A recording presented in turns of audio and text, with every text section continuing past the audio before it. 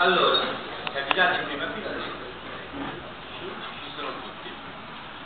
Allora, prima che io dia lettura, devo chiedere, vi devo chiedere cortesemente, mentre i bambini sono giustificati in quanto non sono capaci di intendere e volere, li posso tollerare, non riesco a tollerare le, capaci, le persone capaci di intendere e volere.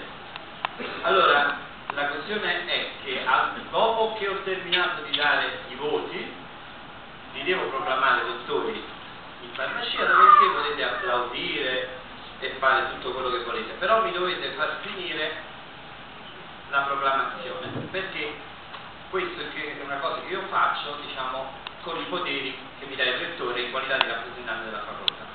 Allora, diamo lettura dei risultati della seduta di laurea odierna per la laurea in farmacia.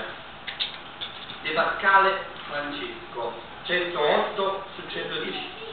Talarico Gianluigi, 91 su 110. Della Camera Alessandro, 89 su 110. Esposito Dora, 97 su 110. Panaro Antonio, 86 su 110. Ciucci Alessandro, 110 su 110 e lode. Bartolomea De Iuri Anna Maria, 106 su 110. D'Antonio Luciano, 105 su 110. Perrino Tonia, 110 su 110 e lode. Testa Rachele, 108 su 110.